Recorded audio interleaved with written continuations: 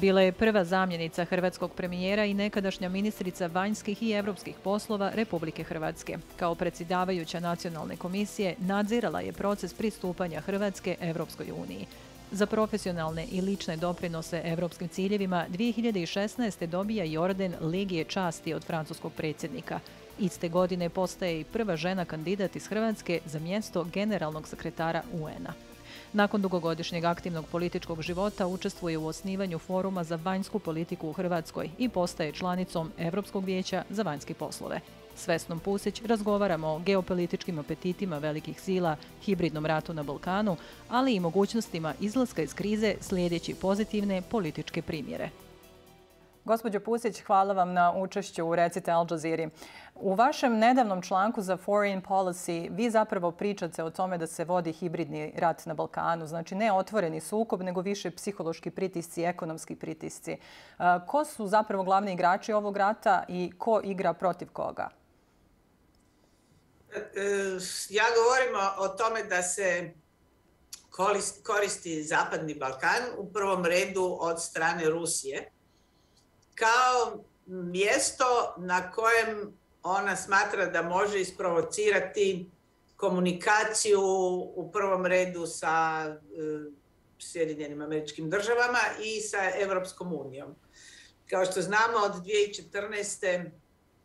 E, cijeli niz sankcija je, su i e, Amerika i Europska unija uvele protiv Rusije vezano na rat u Ukrajini, vezano na aneksiju Krima.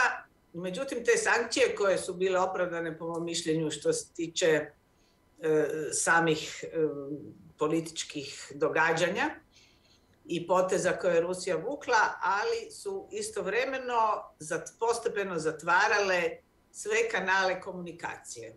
A kao što znamo, teško je riješiti bilo koji problem ako komunikacije nema i e, tu je jedno vrijeme vladala takva jedna vrsta zapravo blokade, čak i oni famozni back channels, dakle diplomatski kanali s kojima se obično komunicira i rješavaju problemi, su e, presušili.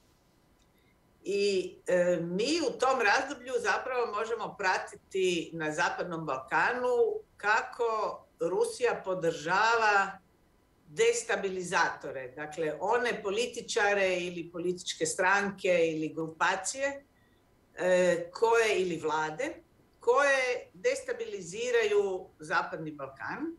Na koji način? Podržava, znači, znači kad kažemo Rusija destabilizira Balkan, šta ona tačno radi na Balkanu? Pa postoji, Balkan nije jedna jedinstvena e, država i to također treba držati na umu. Dakle, Balkan je mnogo država, konkretno ovih, ova grupacija koja pokušava ući u Europsku uniju ili, ili još nije u Europskoj uniji, ali naravno i ove druge države koje jesu u Europskoj uniji, ali su dio tog geopolitičkog prostora. Međutim, recimo, e, očito je prisutna u podršci Dodiku koji u, u, u okviru Bosne i Hercegovine se transformirao iz jednog pro-zapadnog, ajmo reći, političara kakav je bio na početku, e, se transformirao u jednog od vodećih destabilizatora e, na Balkanu, a svakako vrlo značajnog destabilizatora Bosne i Hercegovine. Istovremeno, on koji je bio u ulozi neke vrste pijuna Srbije, u međuvremenu bi se čak moglo reći da drži politiku u Srbiji kao svog talca. Drugi primjer e, je i naravno sam čak i javno spominje da ukoliko ga se pokušava, pokuša spriječiti u recimo toj destabilizaciji ili razgradnji institucija u Bosni i Hercegovini, on ima prijatelje koji će ga doći e, braniti i koji će, koje će tu pozvati. U slučaju Crne Gore imamo 2016. pokušaj državnog udara gdje su čak ljudi ulovljeni, ali onda su nestali. E, imamo demokratski front koji direktno ide po svoje instrukcije u Moskvu i niti na bilo koji način se od toga ne brani, da tako kažem. Dakle, nije da tu nešto skrivaju. To je e, jedna vrlo jasna i direktna komunikacija. Ako se sjetite u onim demonstracijama u Makedoniji kada je se demonstriralo protiv prihvaćanja prespanskog sporazuma koji je de facto bio preduvjet da se otvori put e, Sjevernoj Makedoniji kasnije prema, prema Europskoj uniji. E, također je bila prisutna u velikoj mjeri Rusija i za organizatora tih e, demonstracija. E, na Kosovu, e, recimo, šta ja znam, ruski ambasador zajedno sa srbijanskim predsjednikom obilazi granicu u trenutku visokih napetosti između Srbije i Kosova. I konačno Srbija koja, ja bih rekla, je u jednoj sasvim, odnosno donekle drugačijoj poziciji. Rusija Srbiju vidi više kao partnera. Ove druge zemlje ne gledaju oni kao partnera, gledaju ih kao neku vrstu uh, instrumenta da bi se destabilizirao ovaj povijesno gledano vrlo važni dio Europe koji u povijesti često imao tu destabilizatorsku ulogu. A e, Srbiju gleda više kao partnera i e, neku vrstu povijesne povezanosti ovdje uvijek stavlja u prvi plan. E, međutim, Srbija je također u okviru te ruske politike e, podrške ekstremnoj desnici u Europi. To je jedan zanimljiv fenomen, relativno nov, gdje je Rusija očito prepoznala da podrška ekstremnoj desnici ala Marie Le Pen, na primjer, koju su čak zvali gospođa Putin u Europskom parlamentu i mnogim tim ekstremno desnim strankama u Europi, da više služi onoj svrsi destabilizacije nego e, savezništvo sa bilo kojim drugim političkim čimbenicima ili političkim e, faktorima. To ima jedna vrlo zanimljiva knjiga inače na tu temu koja se zove Rusija i e, ekstremna desnica na zapadu koja mhm. točno opisuje i kanale financiranja i razloge za to. Da, da li to, e, sad zanimljivo je, pošto imamo neki rat koji se vodi hibridnim sredstvima, kako onda izgleda pobjeda u tom ratu? Da li ovo sada sve što ste otpisali može da se okarakteriše kao pobjeda? Ne, ne, to, pa to nije niti svrha destabiliziranje ovih zemalja po mom mišljenju nije e, svrha, to nije glavni interes Rusije. Glavni interes Rusije je uspostaviti, po mom mišljenju naravno, e, uspostaviti ponovno radnu komunikaciju sa Amerikom i zapadnom Europom, odnosno Europskom unijom. I u tom smislu donekle djeluje, ja bih rekla. E, za nas je to važno zato, jer kao što vidimo u zadnje vrijeme, te komunikacije ima i po mom mišljenju to je dobro, te komunikacije mora biti, jer e, nijedan od tih problema se neće riješiti bez te komunikacije. Ruski glavni interes nije Zapadni Balkan. Ruski glavni interes je njezino takozvano blisko susjedstvo i sprečavanje da se NATO širi na Ukrajinu, Gruziju, Moldovu, dakle e, zemlje koje ona smatra svojim, svojom ne samo direktnom sferom interesa, nego u slučaju Ukrajine, kao što smo vidjeli iz ovoga što je u zadnje vrijeme ruski predsjednik Putin govorio, gotovo dijelom svog bića, da tako kažem, dakle dijelom toliko bliskom da je dio e, u, u kolektivnoj psihologiji neke vrste zajedništva. Da, ali evo prošle sedmice bio je baš hrvatski premijer u Ukrajini u Kijevu, potpisao je deklaraciju o evropskoj perspektivi Ukrajine. To je učinilo Hrvatsku jeli, neku šestu zemlju uh, iz EU koja je potpisala ovu deklaraciju. Kako će sada uspostaviti tu komunikaciju jeli, Rusija i Evropska unija, da li idu u dobrom smjeru, a u isto vrijeme da li onda i, Hrvatsku, pošto je odmah nakon Kijeva došao u Sarajevo i u Bosnu i Hercegovinu, da li vidite Hrvatsku kao neku tu EU predvodnicu za zemlje uh, regije? Pa Hrvatska bi to mogla biti i to je apsolutno bio, bila moja namjera, da ne kažem moj san, e, da Hrvatska bude u najpozitivnijem smislu riječi e, predvodnica u regiji. Hrvatska neće biti svakako ključna zemlja u odlučivanju o odnosima između Sjedinjenih američkih država i, i e, Rusije pa čak ni u odnosima između Evropske unije i Rusije. Međutim, na Zapadnom Balkanu ili ovoj našoj regiji, Hrvatska svakako može imati značajnu ulogu, može imati značajnu pozitivnu ulogu, nažalost naravno može imati i negativnu ulogu, e, kao i sve ostale države, ali za Hrvatsku je to posebno važno jer je zemlja koja je dio tog geopolitičkog prostora, a jeste članica Europske unije i s druge strane ima vrlo objektivno, vrlo snažan interes da Zapadni Balkan bude stabilan, bude prosperitetan e, kao prvo susjedstvo i ako hoćete i sasvim sebičnih interesa zato što i stabilnost e, i prosperitet Hrvatske bez obzira na svoju Europsku uniju ovisi o e, situaciji, atmosferi na tom zapadnom Balkanu. Hrvatska je imala, ja bih rekla, različitu ili raznoliku ulogu u odnosu prema Bosni i Hercegovini i u odnosu prema e, državama Zapadnog Balkana. U, e, šta znam, recimo zadnjih 20 godina, a naročito od svog ulaska u, u Europsku uniju kad kad pozitivan, a kad kad ne tako pozitivan po mojoj ocjeni. Da, vi ste zapravo bili u kabinetu, tadašnjem kabinetu Zorana Milanovića u periodu između 2011. i 2016. tada vaš jeli, politički partner, sada niste baš isto mišljenici, pogotovo kada su u pitanju izjave vezane za Bosnu i Hercegovinu.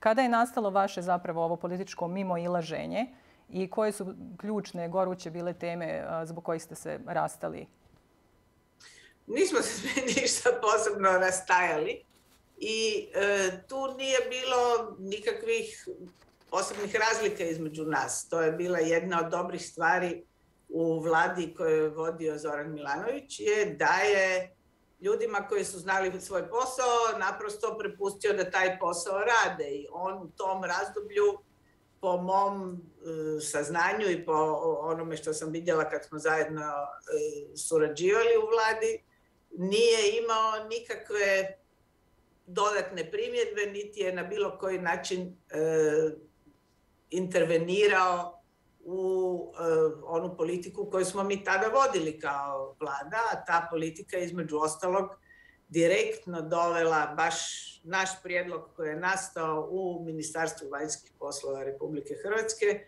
koji je prezentiran prvo u to vrijeme Britancima i Njemcima, tada je recimo njemački ministar vanjskih poslova bio današnji predsjednik, e, današnji predsjednik Njemačke i oni su to prihvatili, taj prijedlog, predložili ga kao svoj, naravno u Europskoj uniji također ima velikih i malih. Hrvatska je bila em mala, em nova. Dakle, predlog je imao puno veću šansu ako, je, ako ga predlože veliki i, velike i stare članice. To su oni učinili i taj prijedlog je prošao i temeljem tog prijedloga je Bosna i Hercegovina mogla predati zahtjev za članstvo. Dakle, to je bio, e, ja bih rekla, nakon dugih godina e, veliki uspjeh i veliki korak u e, pravcu približavanja Bosne i Hercegovine Europskoj uniji. Zapravo... Niti je Banović tada imao apsolutno ništa protiv toga, niti je na bilo koji način tu intervenirao. Dakle, dok smo mi zajedno radili u vladi, nije bilo nikakvog prije, mislim, predmeta za sukob. Njegova politika, odnosno njegov stav, ajmo reći, je novijeg vijeka, dakle, od kad je postao predsjednik države, što ja znam. I tu je na jedan put zauzeo taj stav koji je gotovo identičan, pa kad kad i žešći od stava HDZ-a koji, s kojim se ja ne slažem. Dakle, ne slažem se ni sa stavom HDZ-a, ni sa sada sa istim takvim stavom koji ima predsjednik države. E, ta 2013. godina kada ste i vi bili zapravo i ministrica, e, pamtimo po ulasku Hrvatske u Europsku uniju. I cijela atmosfera u državi je bila jako pozitivna, obećavajuća. Nije samo u Hrvatskoj, nego i u regiji. Vi ste tada zajedno sa ostalim zvaničnicima e, pružali tehničku podršku Bosni i Hercegovini prevodom bitnih dokumenata za, za pristup Aki Communautaire samo neko, to je sada sve stalo, nekako vrlo brzo je sve stalo i samo evo nekoliko godina poslije e, Hrvatska je puna te neke političke rascjepkanosti, političkih razmirica, svađa. Kako je uopšte onda sebi dozvolila znači, da iz tako neke, da kažemo, lijepe, konstruktivne priče nađe se evo sada u, svađama i, i koristi medijski i javni e, prostor za, za, za prepucavanje? To je po mom mišljenju manji problem. Nije ugodno i nije lijepo za vidjeti tako, ali je manji problem. Naš veći problem u ovom času je da u Hrvatskoj ne postoji opozicija de facto. Da ne postoji e, artikulirana, artikulirana snažna politička grupacija koja bi bila na drugom kraju ili, ili na drugom dijelu političkog spektra i bila bi u nekoj vrsti ipak koliko toliko ravnopravne konkurencije sa vlašću. Kao što znamo, to je zapravo jedini efikasni način e, kontrole vlasti koja je neophodna u svakoj demokraciji je da ima ozbiljnu opoziciju. U Hrvatskoj moja bivša stranka je nestala, raspala se aktivnostima između ostalog i vladajuće stranke, ali i naravno e, svojim vlastitim aktivnostima. SDP je vrlo slab, a drugi niko ne postoji. Postoji nešto malo što HDZ napada sa desna, to ja bih rekla da je više, više, e, više prema irelevantnom nego e, prema nekoj stvarnoj opoziciji i to zaista je problem u Hrvatskoj. Zašto se to dogodilo? Jednim dijelom zato što smo mi proveli pa, 20 godina ili ajmo reći 15-16 godina fokusirani na jednu temu. A ta tema je bila e, ulazak u Europsku uniju, dobro NATO, ali u velikoj mjeri ulazak u Europsku uniju i sve pripreme koje su na to, za to bile potrebne. I kad je taj cilj postignut, zapravo je tema, nestalo teme oko koje bi se artikulirala jedna e, svježa, nova e, politika. Ta tema je mogla biti regija i uloga Hrvatske u regiji, međutim to se nije dogodilo. Po mom mišljenju to je štetno i šteta da se nije, nije dogodilo, ali nije se dogodilo. A nije se dogodilo ni ništa drugo. Recimo, neka nova mediteranska orijentacija ili e, ono što bi ja smatrala važnim, Hrvatska ima jako puno posla na temi funkcionirajuće pravosuđe, zaštita ljudskih prava, e, razumijevanje što se događa u političkom prostoru, to doduše nije samo hrvatski problem, nego globalni problem. A zbog čega se ništa nije desilo evo, nakon toga? Nekako izgubili su zajednički viziju, jezik. Kako, se, kako je došlo do toga? To ne treba za to nikakvo zajedništvo. Za to treba e, liderstvo. Za to treba, recimo, lider u opoziciji koji bi bio spreman i sposoban okupiti e, određeni broj ljudi, artikulirati te teme i za njih dobiti podršku. Dakle, nije potrebno u demokraciji veliko zajedništvo pozicije i opozicije. Upravo obrnuto. Treba zajedništvo oko nekih temeljnih vrijednosti koje predstavljaju identitet države.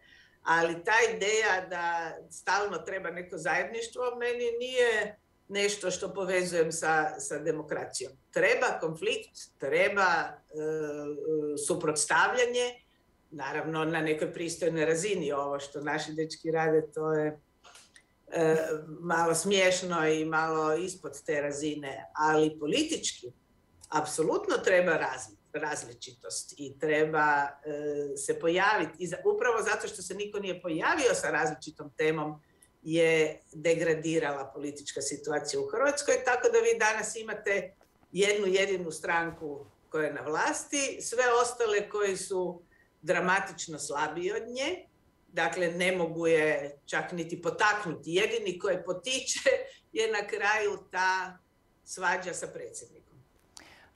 Problem opozicije nije samo jeli problem Hrvatske, to je nekako jeli, regionalni problem. Evo u Srbiji imamo masovne proteste, svake subote građani se okupljaju na, na mostovima srbijanskih gradova. Očekuju ih, neko bi rekao, građanski neposluh, neko bi to porekao. Očekuju ih izbori u aprilu 2022. Kako biste vi ocijenili do sada odnose sa, sa Srbijom, Hrvatske i Srbije? I vidite li možda na tim izborima neku figuru sa kojom bi mogli da se dodatno relaksiraju ti odnosi? Pa, odnosi Hrvatske i Srbije su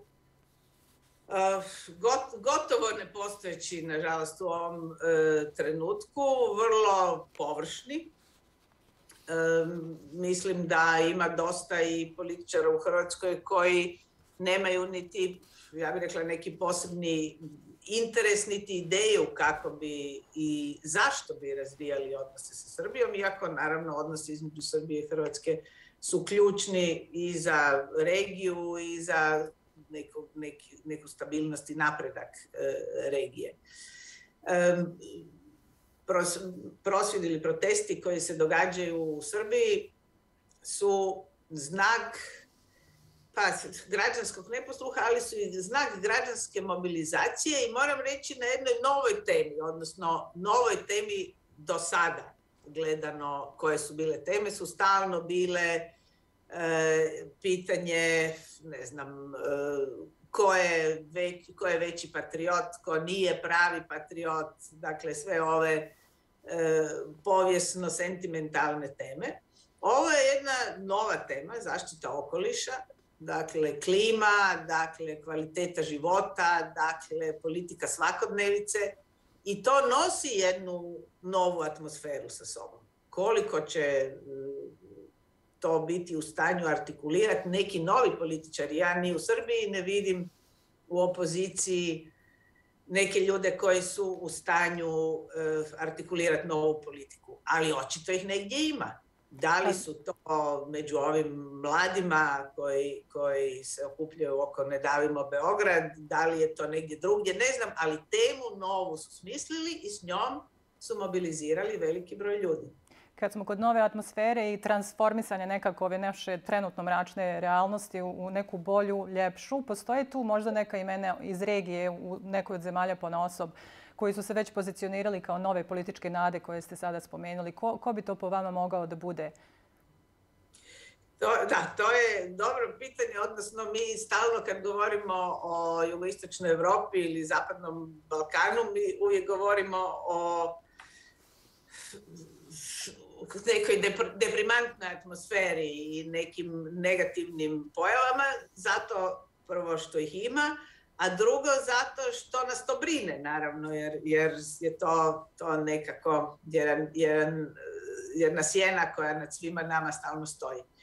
I zato često ne vidimo, a mnogi naši vanjski partneri, da tako kažem, evropski američki partneri također često ne vide da gotovo u svim trenucima, pa tako i u ovom, u e, našoj regiji postoje uvijek ta zelena svjetla, kao što je u, svojoj knjizi ih nazvao vezano na svoj vlastiti život američki glumac Matthew McConaughey.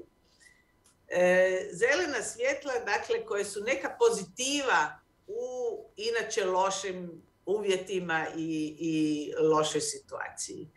I, I u ovom trenutku ih ima, u ovom trenutku također postoje u, u tim uvjetima u kojima ste sami rekli koji su dosta nekako deprimantni. Na pojedinim mjestima ih možemo, možemo identificirati stvari koje su pozitivne. Spomenut ću samo neke, ja sam nedavno putovala po zemljama Zapadnog Balkana sa jednom grupom kolega. Recimo jedna od, jedan od ozbiljnih problema i, i negativnih stvari koje često upropaštavaju države, vlasti, društva u toj regiji je korupcija. I to naravno korupcija ljudi na visokim političkim položajima. Po prvi puta sa sigurnošću možemo reći da je jednoj zemlji koja toga jako patila, kao i ostalo i ostale zemlje na Zapadnom Balkanu, imate na Kosovu premijera koji sigurno nije korumpiran. Dakle, jednog nekorumpiranu osobu na poziciji e, premijera koji istinski hoće e, uspostaviti funkcioniranje institucija bez prisustva korupcije. To je zeleno svjetlo. Hvala vam Naljuša. Mi smo došli do kraja, nažalost. Tako hvala vam na izvojenom vremenu i što ste podijelili vaše razmišljanja sa, sa Al Jazeera Balkans. Hvala vama.